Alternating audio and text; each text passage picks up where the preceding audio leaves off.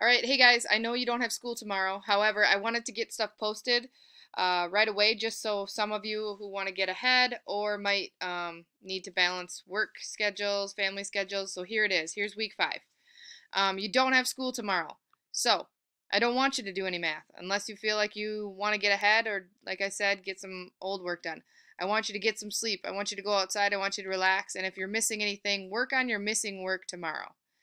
All right, here's what the week looks like. Watch the video posted on volumes of prisms and cylinders, add to your flip chart, and then maybe do some practice problems right there.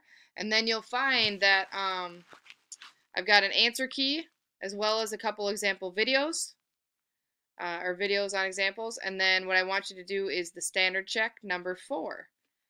Thursday, I got the vocab list posted, and then I want you to work on your vocab test Thursday.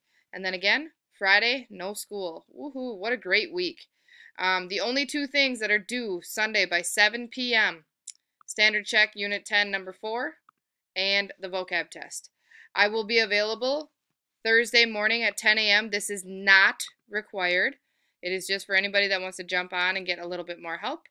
Um, and if you miss mine and you are around Thursday afternoon, let me know and I can get you Mr. McMorrow's num- um, info. So hopefully this uh, is an easy week for you. Um, let me know if you have any questions. You guys are doing great. Hang in there. And um, I'm proud of you guys. Miss you guys. Have a good week.